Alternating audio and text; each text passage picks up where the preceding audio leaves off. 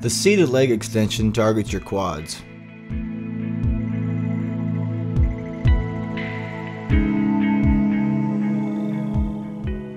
You can target your lower or upper quads by altering your range of motion.